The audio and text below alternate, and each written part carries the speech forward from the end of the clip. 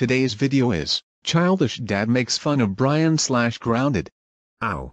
My spine. Ha ha ha ha ha ha ha ha, he deserves it for grounding by saying your first word. The old old story never end again. Please dad, I am so really sick, I'm your son, remember? What? I thought you were new child. I was not your new child to begin with. Oh. After all, I have surprise for you. Seriously dad?